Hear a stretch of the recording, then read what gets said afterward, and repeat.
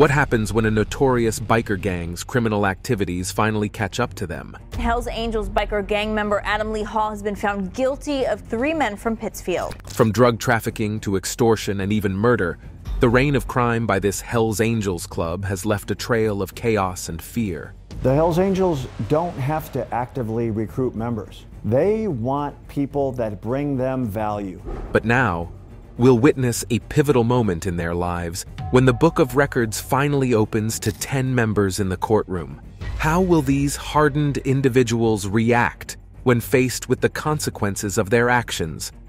Let's find out.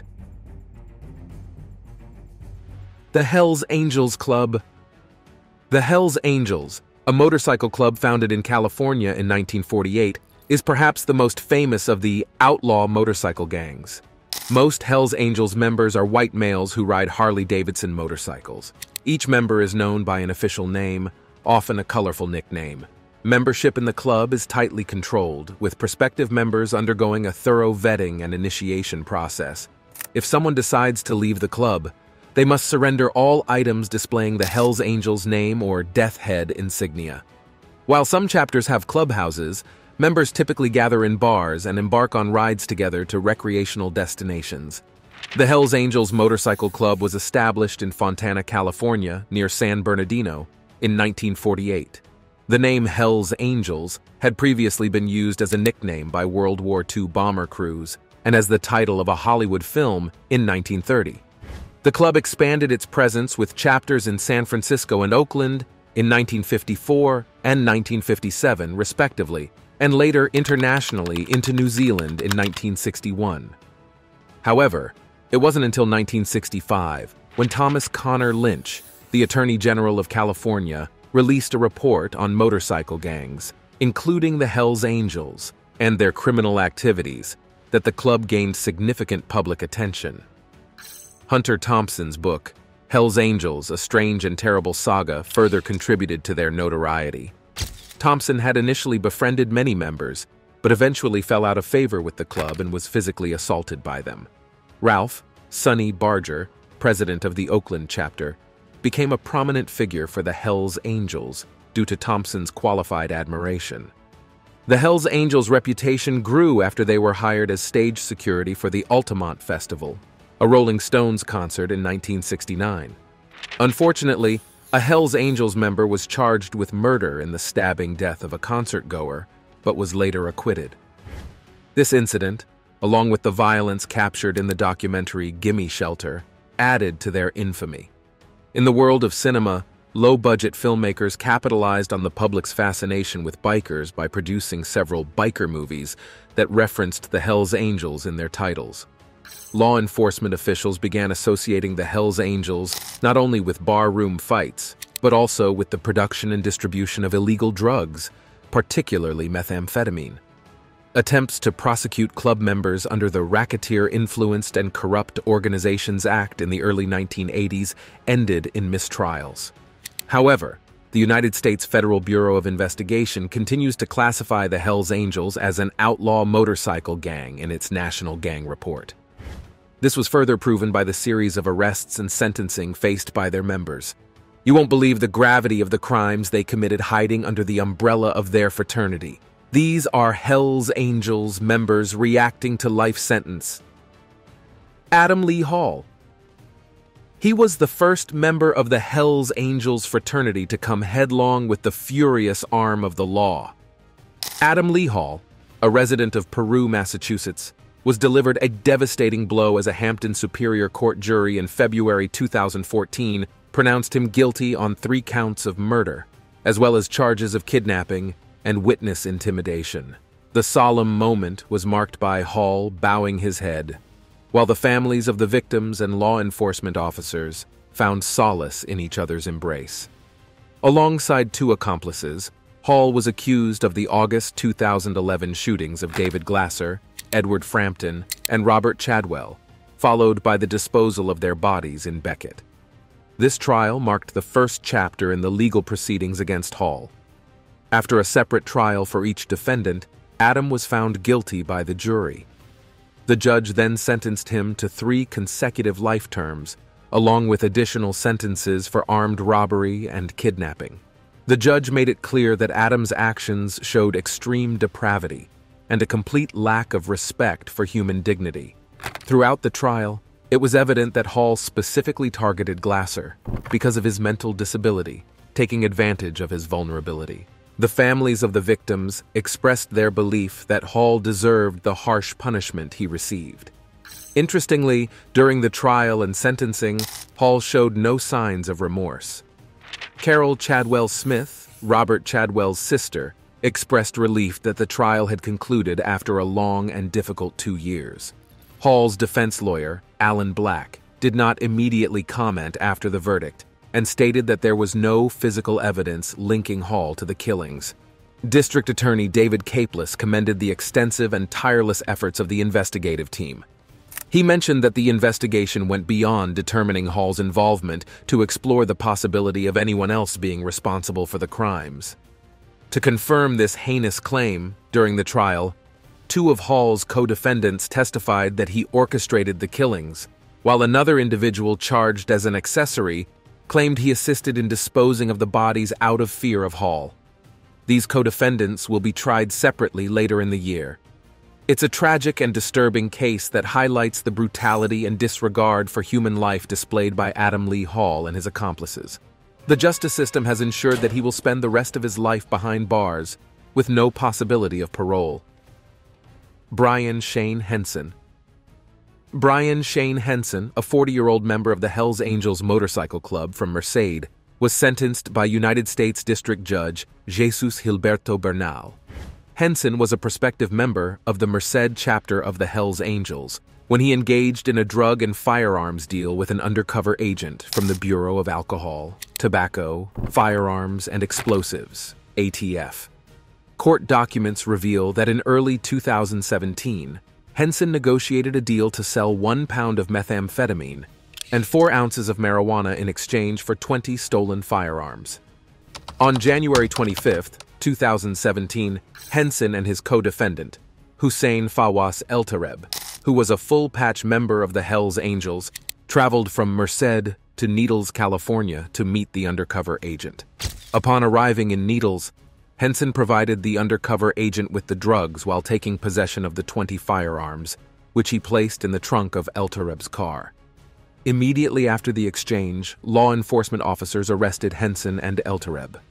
During the arrest, a loaded .38 caliber revolver was recovered from Eltareb's vehicle, concealed next to the driver's seat. Henson pleaded guilty in October to charges of distributing methamphetamine and possessing firearms in furtherance of a drug trafficking crime. He was sentenced to the mandatory minimum of 180 months in federal custody. Eltareb, on the other hand, opted for a bench trial in December. Judge Bernal found him guilty of conspiracy to distribute methamphetamine distribution of methamphetamine, and possession of a firearm in furtherance of a drug trafficking crime.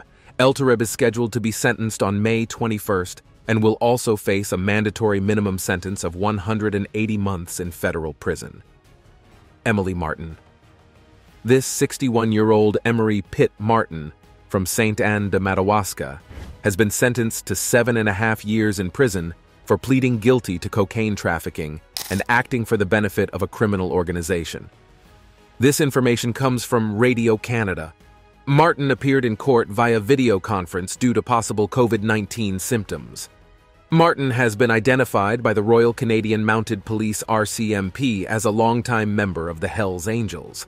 The Crown and Defense initially sought an eight-year prison sentence, but Judge Denise LeBlanc decided to reduce it because Martin had already spent 1,209 days in prison since his arrest in 2018.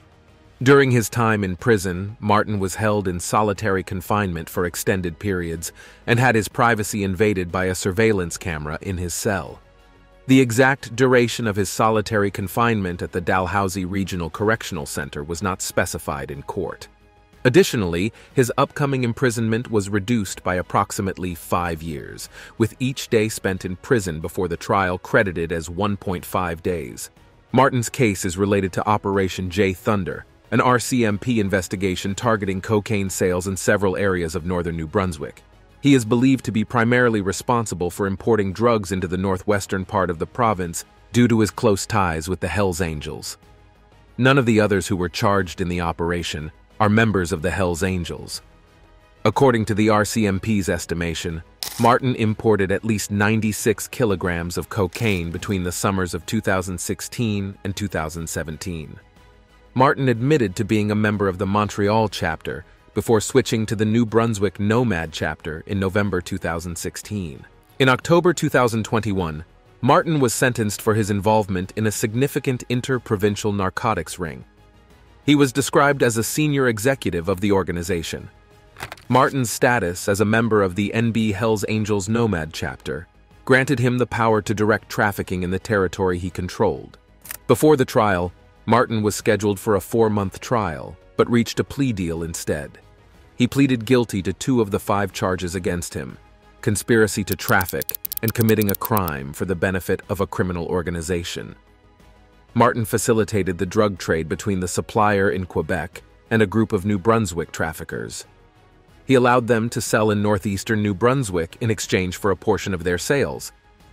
Neil Cantrell Neil Cantrell a longtime biker and leader of a 2016 extortion plot, was sentenced to 10 years in prison for kidnapping and assaulting a former associate who no longer wanted to grow illegal marijuana.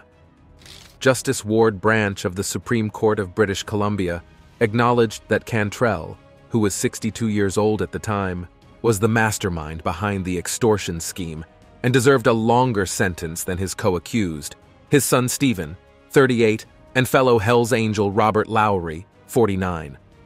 The three men were convicted in 2020 on charges of kidnapping, extortion, aggravated assault, and overcoming resistance. The victim, Robert Houle, had been growing cannabis for Cantrell for over 12 years. In December 2014, Houle expressed his desire to exit the illegal marijuana business and offered the growing equipment to Cantrell. However, he heard nothing from Cantrell until July 2016, when Cantrell contacted him to arrange a meeting. The following day, Houle was abducted, choked, and beaten at a roadside pullout near Hope. He was then taken to his house, where the trio attempted to coerce him into signing over his property. The Royal Canadian Mounted Police RCMP intervened, and Houle was taken to the hospital for his injuries, which included cuts, broken bones, and a burn on his forehead. The assault had a severe impact on Houle, forcing him to enter the Witness Protection Program. Justice Branch noted that during the attack, Houle feared for his life and believed he was going to die. The judge cited a report filed during the sentencing hearing, which revealed Cantrell's lack of remorse for his actions. Cantrell justified his behavior by claiming that he was owed money and that Houle should have anticipated the consequences. Cantrell showed no expression of remorse during the proceedings. Lowry, who had a previous history as a successful businessman, received a nine-year prison sentence for his role as the muscle in the extortion scheme. Stefan, Cantrell's son, was sentenced to six years in prison. Stefan had limited involvement in the violence but played a part in executing the extortion plan. He had strong support from the community, with family, friends, and employers expressing surprise at his involvement in such a crime. Subscribers pick. Inside the dimly lit courtroom, this notorious gangster stood before the judge, his body painted like a vampire. As we explore the stories of Hell's Angels members reacting to life sentence, this particular case stands out due to the brutality of the crime committed. People whispered as the judge pronounced the verdict, life behind bars. The gangster's eyes showed insolence but quickly softened, revealing a mix of emotions. A faint smile appeared on his lips, a sign of something unexpected beneath his tough physique. At that moment, it became clear that the Hell's Angel's spirit would not be easily broken, even in prison. The gangster had faced battles on the streets, hiding under the club, and now he's set to face the reality of life imprisonment. As he was taken away, the paintings and irritating drawings on his body left a haunting impression. Truly, legends of the Hells Angels have wild adventures that will never be erased from the minds of people especially, relatives of their victims. As we unveil the dark side of this brotherhood, what's your thoughts about their cruel expeditions, and do you think they deserve their fate? Please, We would like you to share your thoughts in the comment section, and let's keep these revelations interesting. David Giles. David Giles, a longtime member of the Hells Angels biker gang, got a sentence of 18 years in prison for his involvement in a conspiracy to smuggle half a ton of cocaine into British Columbia. This is the longest sentence ever given to a member of the gang in the province. Giles, who is 66 years old and in poor health, listened as the judge read out the sentence. The judge considered the nature of the crime, the large number of drugs involved, the intention for it to be an ongoing operation, Giles's role, and his circumstances in determining the sentence. Giles received credit for the time he had already spent in pretrial custody, resulting in a net jail term of 11 years and one month. He and his associate, Kevin Van Kalkeren, brokered a smuggling deal in 2012 with undercover police officers posing as South American drug lords. Van Kalkeren pleaded guilty and received a 16-year sentence. The drug shipment, consisting of 200 kilograms of cocaine, was delivered to a warehouse in Burnaby, where Giles and Van Kalkeren were arrested along with six others. Giles's lawyer argued for a lower sentence, citing his client's critical illness and the need for a liver transplant. The defense also claimed that Van Kalkeren was the real leader of the conspiracy. However, the judge rejected these arguments, stating that once Giles was recruited into the conspiracy, he acted as an equal partner to Van Kalkeren. Giles had expressed his target of transporting 500 kilograms of cocaine every three months and was actively involved in planning the distribution of the drugs. Giles had a difficult upbringing and a history of criminal activity, with his last conviction dating back to 1984. Before this case, the longest sentence given to Hells Angels members in British Columbia was 15 years for manslaughter in a beating death. Another individual, Sean Womax, who helped unload the cocaine, was also sentenced. Womax received a six-year sentence for possession for trafficking. The judge took into account his role as hired labor and his struggles with addiction, noting his expressions of remorse and the influence of his addiction on his criminal history. Norman Cocks and Robert Leonard Thomas. Norman Cocks and Robert Leonard Thomas, both full patch members of the Kelowna Hells Angels, were involved in a tragic incident in June 2011 that resulted in the death of Dane Phillips. Phillips, a 51-year-old man, was attempting to peacefully resolve a conflict between his two sons and two teenagers associated with the Hells Angels Biker Club. Unfortunately, Phillips's son witnessed the brutal assault as Cocks and Thomas attacked his father with a baseball bat and a hammer. The prosecution argued that one of the accused Hells Angels participated in the attack due to his gang connections. Crown Counsel Joe Bello highlighted the anger directed towards Phillips by the accused before the attack. Both Cocks and Thomas were ultimately sentenced to 15 years in prison for taking Phillips's life, but their sentence was reduced to 12 years after receiving credit for pre-sentence custody. The Associate Chief Justice of the BC Supreme Court described the attack as brutal and determined, involving weapons against an unarmed man who was simply trying to resolve a dispute. In her victim impact statement, Phillips's wife, Janine, expressed the profound loss and void left in their family by the warm-hearted presence of her husband, stating that his violent and unrecognizable death had caused her to suffer a heart attack.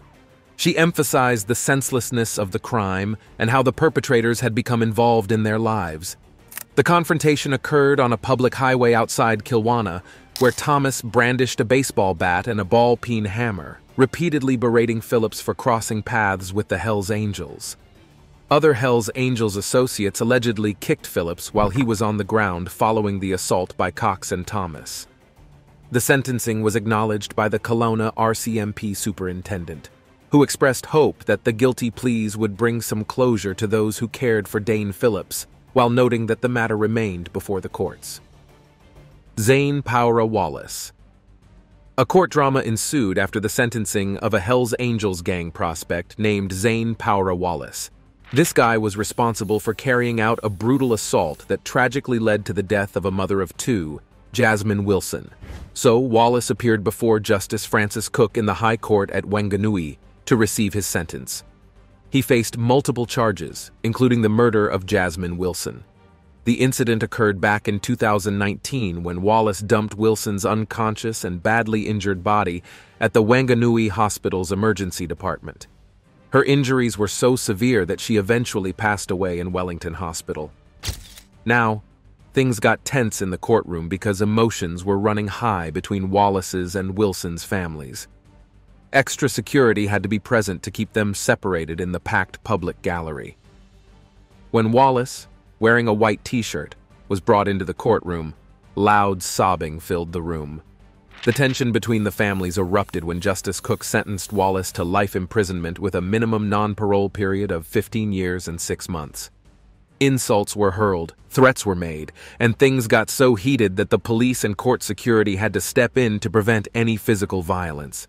Eventually, the courtroom had to be cleared. Before the sentencing, Brenda O'Shea, Wilson's mother, expressed her deep anger and grief in her victim impact statement. She described how her relationship with her husband and other children had been fractured by the murder of her daughter. The ongoing trial had prevented them from mourning together and finding closure. O'Shea spoke lovingly about her daughter, highlighting her creativity, talent, and warm personality. She emphasized the impact of losing Wilson and the never-ending guilt she felt every day for not being able to protect her. Robert, Wilson's husband, shared the heart-wrenching experience of having to tell their boys that their mother might not survive, and if she did, she would never be the same again. Wilson's sisters also spoke about the trauma they endured and how they wanted to send a message that violence against women is never acceptable. During the proceedings, Crown Prosecutor Chris Wilkinson Smith argued for a longer minimum non parole period considering the extreme violence and threats Wallace had inflicted on Wilson and her family. Wallace's defense lawyer, Debbie Goodlett, acknowledged that he would either spend his life in jail or on parole, and expressed his desire to address his problems through treatment and counseling. In the end, Justice Cooke emphasized the seriousness of Wallace's actions and the need for a substantial prison sentence. He described the sustained period of terror that Wilson endured before her tragic death including threats to kill her in explicit and gruesome ways. Dean Daniel Kelsey. Back in October of the year 2000, Kelsey assaulted an innocent man named Sean Simmons in Dartmouth. Simmons was a 31-year-old father of two from Lower Sackville. The assault took place in the lobby of an apartment building on Trinity Avenue. Kelsey, along with three other individuals, was charged for Simmons' death. In March 2003, he received a life sentence for his crimes. Two other men, Neil William Smith and Wayne Alexander James, are also serving life sentences for their roles in Simmons's murder. A fourth man, Stephen Garreau, was released in 2018 after the prosecution against him was ended by a judge. The victim, Simmons, was killed on the orders of a Hells Angels member due to allegations of an affair with the gang member's wife, Initially, Kelsey was convicted of conspiracy to commit murder and first-degree murder. However, his sentence was later increased in 2008 and then again in 2015 due to assaults on fellow inmates. Eventually, his conviction was overturned on appeal, and the Supreme Court of Canada substituted a conviction for second-degree murder. This revised Kelsey's parole eligibility dates, making him eligible for full parole in July 2019.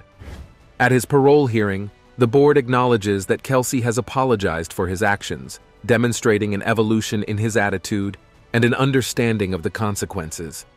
A mental health progress report indicates that he has maintained a desire to behave well and work on himself throughout his sentence, despite the challenges he has faced. Upon his release from a medium security institution after 20 years of incarceration, Kelsey will need time to adjust. For the first three months of his parole, he must return to the halfway house every night. Kelsey is subject to special conditions aimed at ensuring his risk factors are addressed and community safety is maintained. These conditions include abstaining from drugs and alcohol, continuing psychological counseling, avoiding association with anyone involved in criminal activity, and having no contact with any member of the victim's family. Overall, Kelsey is considered to have a moderate high risk of violently reoffending in the medium and long term. However, while under supervised release like day parole, His psychologist assesses his risk level as moderate in the short term. Kelsey's level of accountability and motivation is rated as high, while his potential for social reintegration is considered moderate. During his time in prison, Kelsey has been involved in conflicts and acts of violence, accumulating 20 disciplinary offenses, including fighting, making threats, and failing drug tests. However, he has not been involved in any violent incidents since August 2019. There have also been instances of misconduct, such as substance use and disrespect. The most recent incident occurred in May, when Kelsey displayed an inappropriate attitude and used vulgar language toward correctional officers during a search. In considering its decision, the parole board reviewed Kelsey's file, assessed his risk factors, examined his indigenous social history, ISH, and considered written submissions from Kelsey and Simmons's family. It was noted that Kelsey's grandmother is Metis, and his maternal grandfather is Mi'kmaq, but Kelsey had limited exposure to his Metis culture, spirituality, and language, except during his time in prison. His family has experienced substance abuse, gambling issues, and instances of sexual abuse. Stephen Sanders, this former leader of the Hells Angels motorcycle club in San Diego, named Stephen Sanders, who's 44 years old, got slapped with a hefty prison sentence. The district attorney, Bonnie Dumanis, announced on Friday that Sanders will spend the next 25 years behind bars. Sanders, who used to be the president of the San Diego chapter of the Hells Angels, has admitted to kidnapping two people for the benefit of a criminal street gang. He has been involved in a series of criminal cases over the past few months, including a conviction in July 2012 for robbery and assault. In March 2012, Sanders was found guilty of solicitation to commit murder. Prosecutors claim that he tried to have witnesses and investigators killed in connection with a pending kidnapping and torture case against him. In April, he pleaded guilty to charges of assault with a deadly weapon related to a violent attack on partygoers in Pacific Beach. Then, in June, Sanders pleaded guilty to felony kidnapping and committing crimes for the benefit of a criminal street gang. During his sentencing on Thursday, Sanders spoke in court and said that he felt pressured to plead guilty because he faced a lengthy sentence if he were to be convicted at trial. Despite admitting to his crimes, Sanders insists that he never admitted that the Hells Angels were a criminal street gang. His attorney attempted to withdraw his guilty plea, claiming new witness testimony, but the judge rejected the motion. The district attorney's office and the Drug Enforcement Administration worked together on Sanders' case. Dumanis sees Sanders' sentencing as a significant victory for law enforcement. She stated that in recent years, Sanders had engaged in a series of violent crimes against the citizens of San Diego. During his prosecution for the kidnapping and mayhem case, he conspired to murder those who played key roles in the case against him. Dumanis emphasized that their office thwarted his plans and held him accountable for his actions. Christian Rufino. Christian Rufino, a member of the Hells Angel Motorcycle Club, was arrested by Cranston police for carrying a firearm as a felon. This happened in December 2009 when he was 40 years old. In August 2011, Rufino pleaded guilty to being a felon in possession of a firearm. The charges stemmed from a traffic stop in December 2009, conducted by a Cranston police officer, who noticed that Rufino appeared to be under the influence. During a search of Rufino's vehicle, the officer found a loaded handgun, ammunition, and an illegal substance in a small bag. Rufino had prior convictions, including assault and battery with a dangerous weapon in 1995, armed robbery with intent to cause harm in New Bedford in 1998, and a bank robbery involving force, violence, and intimidation in Maine in 1990. The Cranston police, along with officers from the FBI's Safe Street Task Force, investigated his case. During the sentencing hearing, U.S. District Court Judge John McConnell categorized Rufino as an armed career criminal. Prosecutors revealed that Rufino admitted to being a member of the New York chapter of the Hells Angels. As a result, Rufino received a 15 year prison sentence for violating the law that prohibits felons from carrying firearms. It was also disclosed that Rufino was initially pulled over for speeding on Route 95, indicating his disregard for traffic rules. Due to his actions, Rufino found himself back in jail, this time for a much longer duration. Thank you for watching and see you in the next video.